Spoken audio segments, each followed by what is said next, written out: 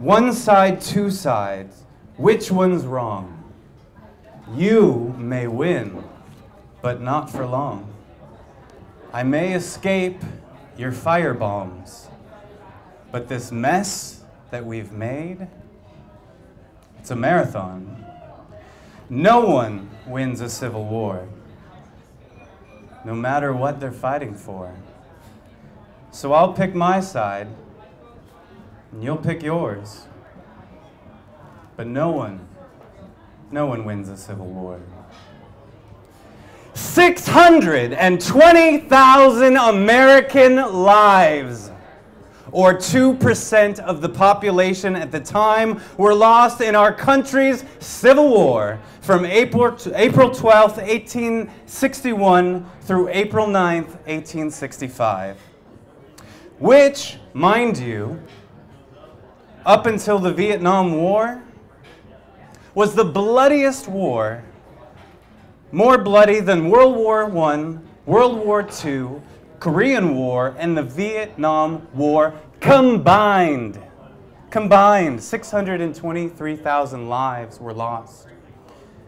Let's just put that in perspective proportionately as if that happened today. Could you imagine if 2% of our population today was lost at war? That would be on the upwards of 6 million people. Just imagine that for me for a moment. 6 million people. 6 million husbands, wives, mothers, fathers, sons, daughters, aunts, uncles, sisters, brothers, nieces, nephews, cousins, neighbors, and friends. 6 million people. You know, I'm standing here before you this evening because I genuinely fear that we are moving in an extremely dangerous direction as a nation. Anybody with me on that one? Dare I say, we're almost as divided today as we were in 1861. It's just the division today is amplified and worsened because of instant nature social media, the advent of the 24 hour news cycle that profits off of our collective pain. And above all else, a toxic and radical hatred, a visceral hatred that has infected the duopoly of power that is what we have come to know today as the Democratic and Republican Party machines. Now, before I go any further, please know I'm not standing before you to bash Democrats or Republicans or anyone that identifies as such. Rather, I'm here to ask all of you tonight to meet me in the middle, just for a moment to shift our focus to the importance of separating the human beings and the organizations from their behavior. Separate them. And furthermore, to discuss them objectively. Not to define a person or a particular organization as bad or good, but instead to just take a beat. Take a deep breath in. Take a deep breath in with me, guys. And let's look just a little bit more closely at our words, our behaviors, and the systems by which we are actively choosing to engage ourselves in. And as we engage our surroundings with this new lens, it's important to ask two simple questions. One, is it healthy? Two, is it serving the greatest good of the people? The people. We're going to explore this topic a little bit more in detail, but I first want to outline three important issues that I feel that we need to pay attention to moving forward in our United States.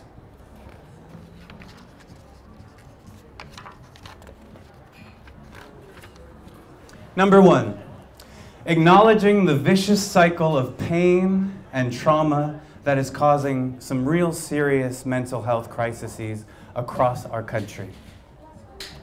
Number two, the dangerously large gap that is growing between the ideologies of the Democratic and Republican parties. And number three, the increased influence of money and large corporate entities on elections and elected officials by way of lobbyists and other mechanisms. Three very important topics that I think we need to look at tonight. And I will tell you, by addressing these three issues, first and foremost, I believe that we will be better equipped as a people to handle just about any other issue that might present itself to us. If we can handle that, we can handle anything, even the toughest age old moral and political divides that we have experienced for years, like the Second Amendment, abortion, religious freedom, LGBT rights, and so many more. Why do I think that it's not only possible, but probable to have these conversations and to move beyond this toxic environment? It's because we are going to choose to start reminding ourselves in the coming months and the coming years that although we may not always agree and see eye to eye, we're still one big happy and on more than one occasion kind of dysfunctional family. And as long as we know we're always arguing from the same side, that we're always on the same team, with a trust and confidence in the understanding that the United in United States actually carries the meaning of which is found in the Oxford English Dictionary. Does anyone know the meaning of united? United means joined together politically for a common purpose or by common feelings. I know I've already thrown a lot at you, but I'm confident that you are very smart and that you're with me. So I want to dive just a little bit deeper. Firstly, acknowledging the vicious cycle of pain and trauma that is causing serious mental health across our country. Lady Gaga just mentioned it at the Grammys just the other night. According to the National Institute of Mental Health, nearly one in five adults in the United States is living currently with a mental illness. That's 44.7 million people alone in 2016. Major depression is one of the most common mental disorders in our country. Major depression can result in severe impairments and interfere and limit with our ability to carry out major and even minor simple day-to-day tasks in our lives. In 2016, 16.2 million adults and 3.1 million adolescents aged 12 to 17 in the United States had at least one depressive episode. I can't even begin to imagine what that number is now given the current political climate. Moving on to suicide.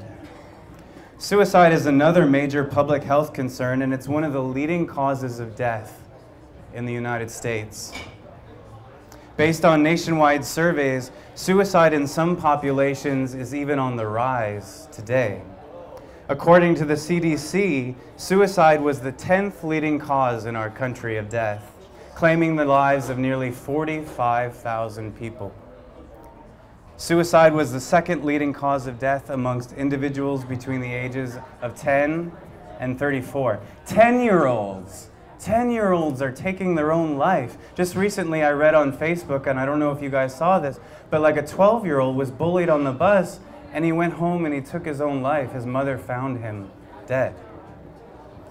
And the fourth leading cause of death among individuals between the ages of 35 and 54.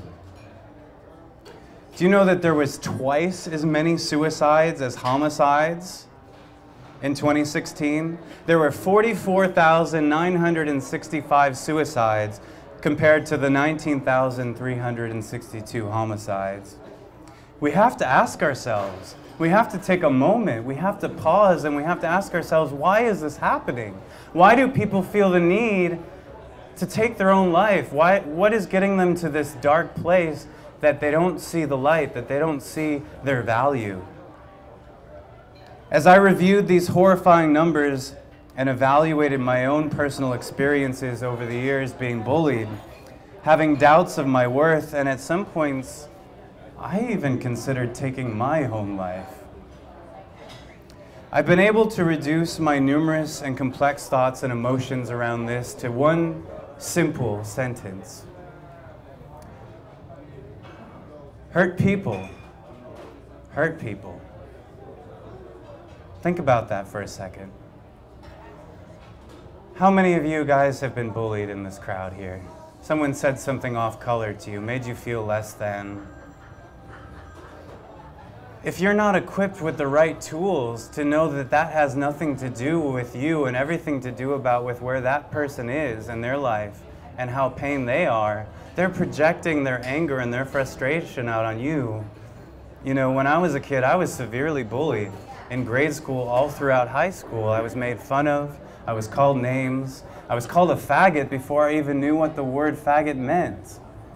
And I wasn't strong enough when I was at that point in my life to know that it had nothing to do with me. And if I knew then what I know now, what a difference that would have made. I was talking with my friend Erica on the phone before coming over here tonight, and she said, Ronnie, you know, we use the word survivor a lot when it comes to cancer, when it comes to HIV, when it comes to a lot of diseases that are plaguing our country, but we don't use this word survivor when it comes to bullying so freely. She's like, why do you think that is? I said, well, Erica, I think you found something that actually stumped me. I don't know why that is. But you've brought up something pretty awesome and I've never thought about it that way, and I've never given myself credit. I'm standing here in front of all you today, and I know that I'm not alone, as a 36 year old survivor of bullying. Because I didn't give in. I didn't give in to the negative thoughts. I didn't let that negative cycle of abuse and shame that I put myself through take me down. And, I, and we have to give ourselves credit for that. We're still here. You know, while I take great pride in the LGBT, I don't know if you know this, but I'm kind of gay. it's true. While I take great pride in my LGBT community, I do not stand before you today as a gay man, but rather I am honestly and open heartedly and humbly standing before you simply just as a human being. I'm a grateful son. I'm a loyal friend, and I'm a fierce advocate for what's right for all of our citizens. It's time that we take an honest look at our pain, our country's pain, our country's trauma, and our country's missteps. And not, and this is very important, we have to take a look at our pain and our missteps, not to shame ourselves, not to put ourselves down, not to say how horrible we are, because let me tell you, we're not the first nation in the entire world that has oppressed people or enslaved people to better a certain class of people. We are not the first, we do not own the rights to that. But I've had the opportunity to dine with the richest of the rich. I've had the opportunity to go to MacArthur Park with friendly meals and serve the poorest of the poor. And you know what? We're really not all that different, you and I. We all just want to fit in. We all just want to know that we belong somewhere and that we're loved, that we matter. Our government currently lacks heart.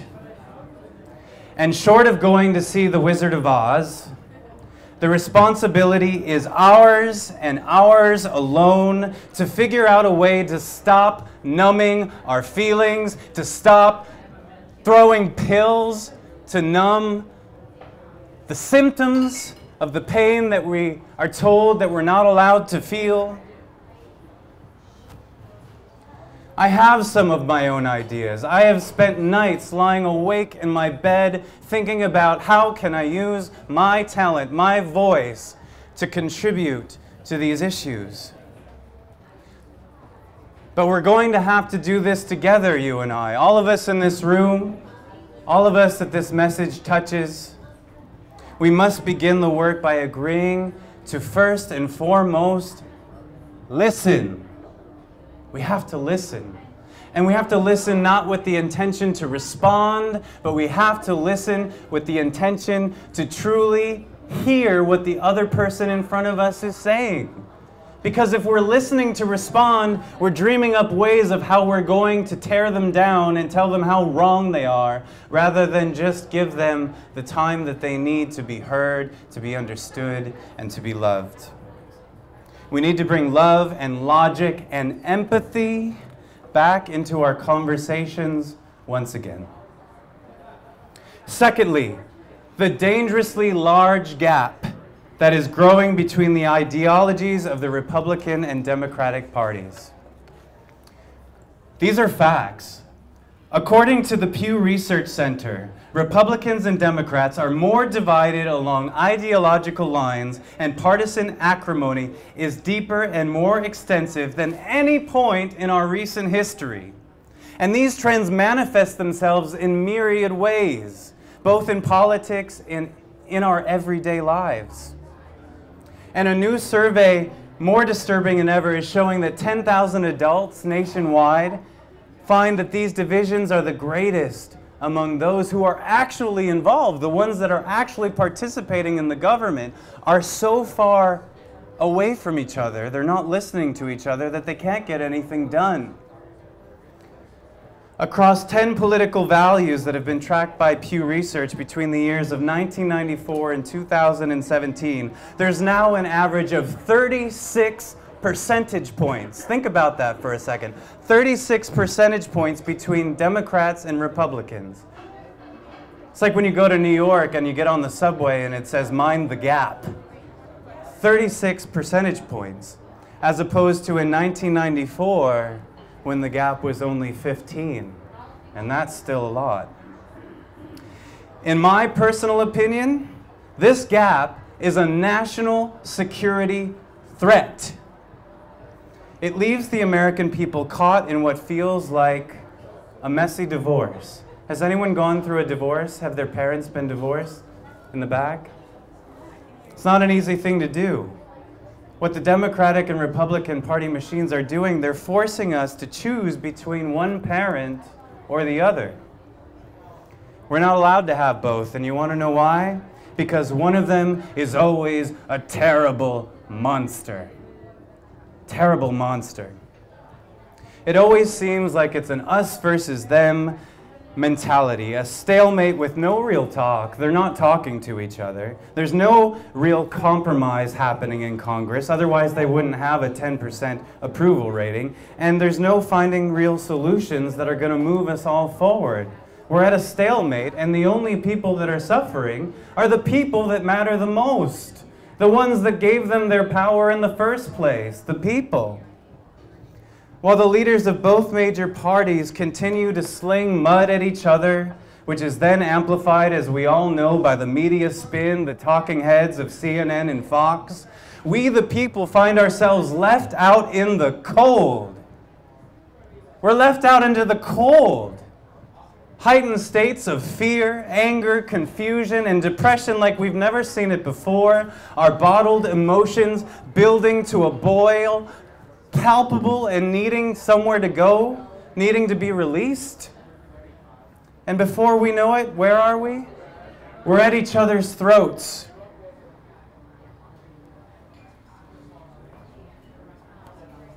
And all on behalf of our tribal leaders, the ones that are supposed to be leading us to the promised land, to a better tomorrow, the ones that pay us lip service and tell us they're doing everything they possibly can. The truth is, our people are being ripped apart at the seams, and it's getting worse every day.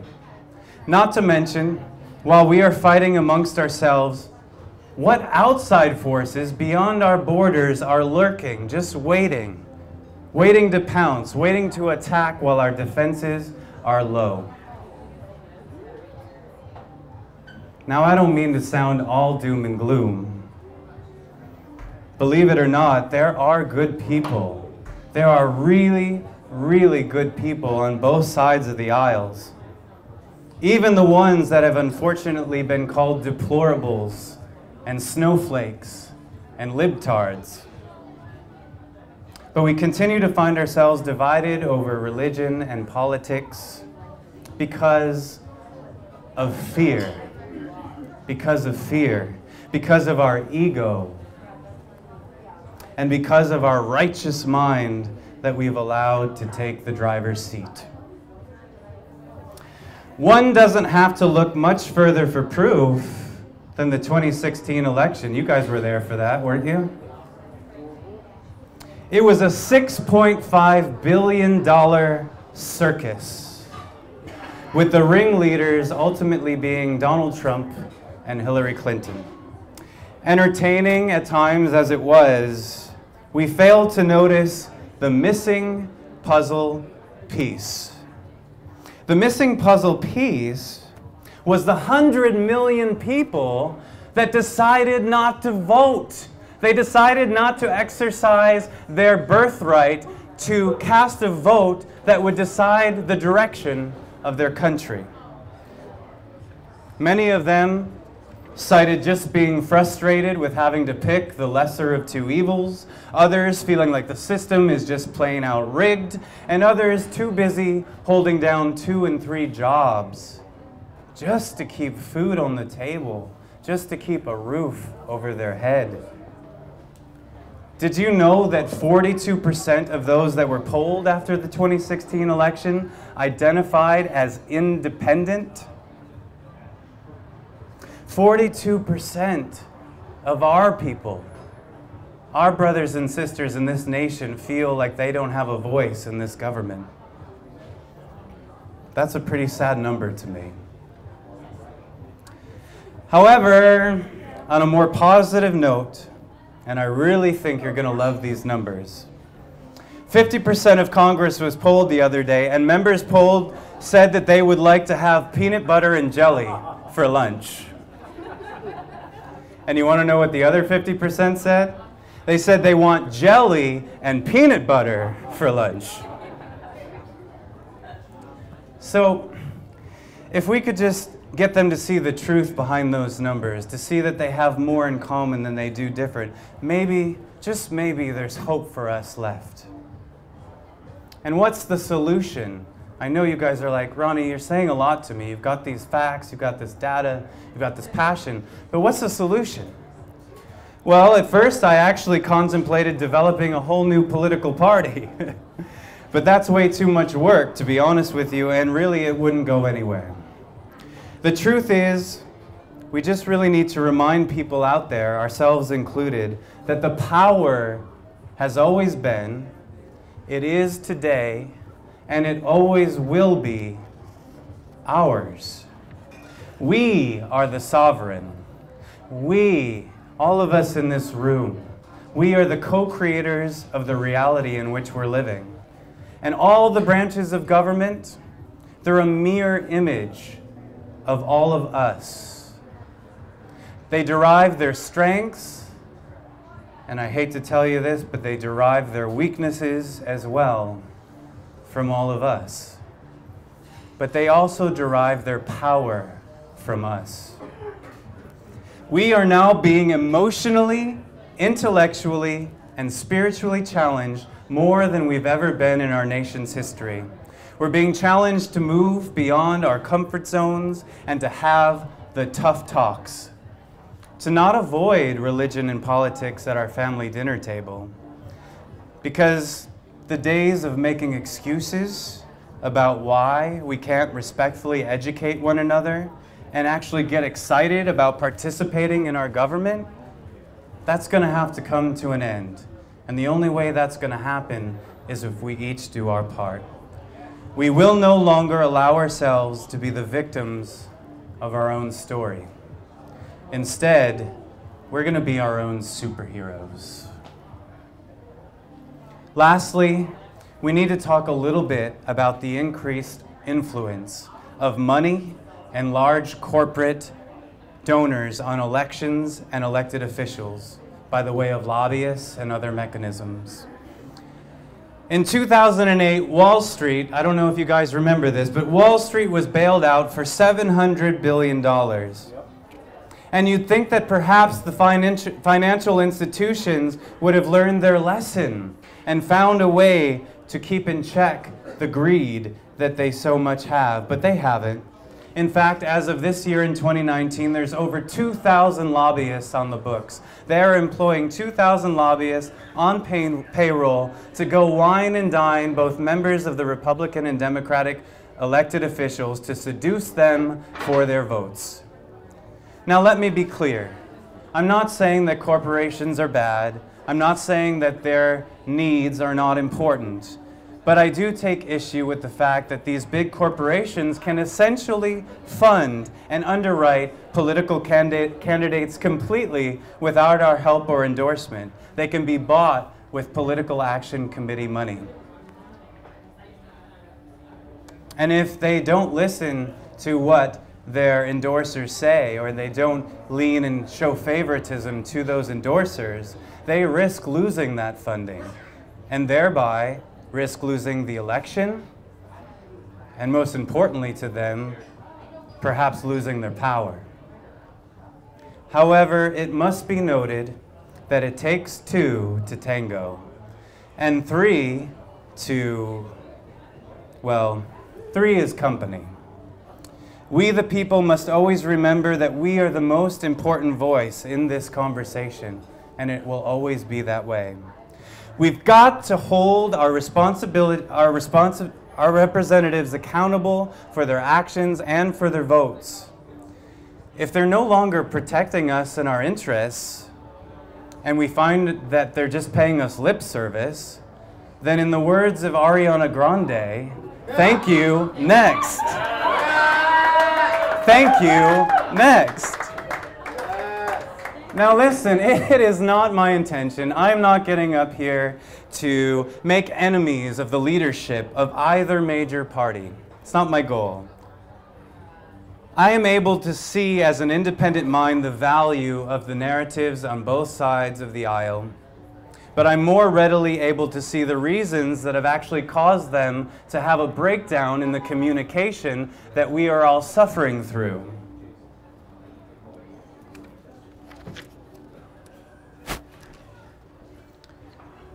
The inability to respectfully communicate with one another, to simply explain our anger rather than lash out in a knee jerk reaction, and to make decisions with the greatest good of the people in mind, it's actually paralyzing our country's ability to move forward.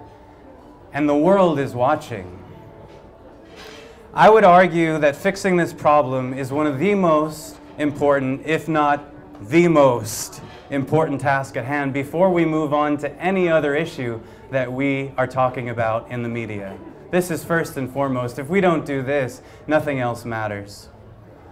Ultimately, it's time to level the political playing field so that candidates of quality, good character, not perfect, strong platforms, and innovative approaches from all walks of life can make their way into the political arena and that they actually have a real, valid shot at a sustainable campaign.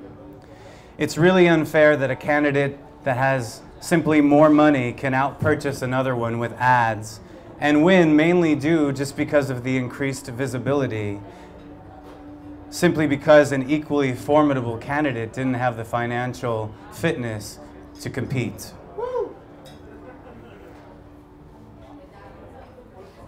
The American people deserve to have their voices heard with legitimate elections, a fair and balanced media that reports the news with integrity, and above all else, we deserve a safe and respectful and conducive environment in which we can share and receive information to debate our findings and the facts and to come to a common understanding making compromises for the common good and finding solutions that will not only help us to survive, not only help us to live, but for the first time to thrive. The American people deserve honesty and transparency from their leaders. We don't want to be talked to as if we're not smart enough to know what's going on behind the curtain. We know what's going on. We don't want to be lied to anymore. No. What we want and deserve are leaders that are more in touch with the reality that each of us face on a day to day basis. Waking up, going to work, paying bills, struggling paycheck to paycheck, raising our children, fighting diseases, dreaming of better days ahead, and navigating the toxic energy that is swirling about due to the radical hatred, the prejudice, and the breakdown in communication in Washington, D.C.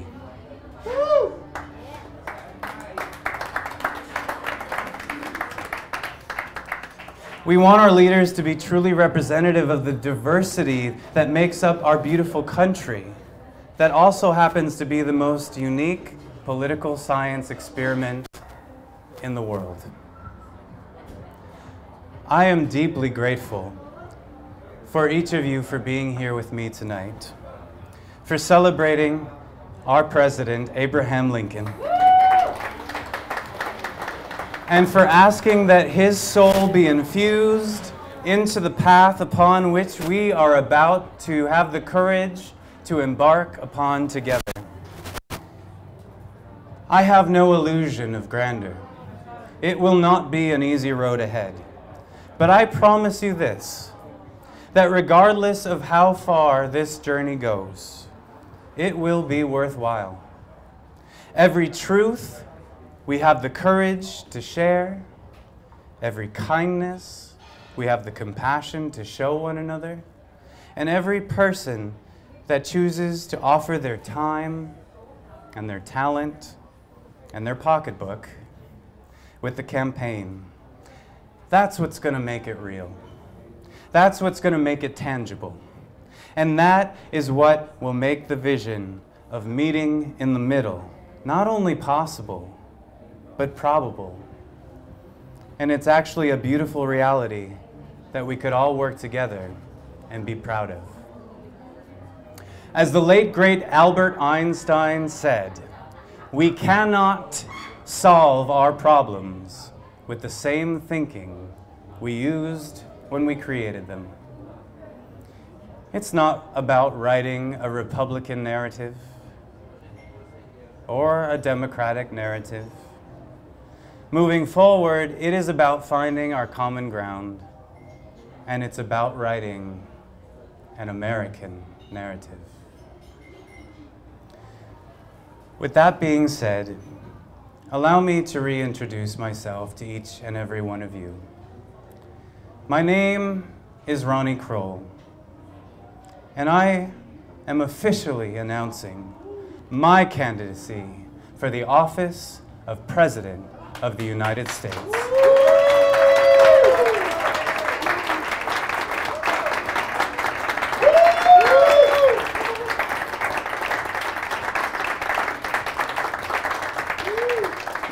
I want to thank each and every one of you for spending your time tonight.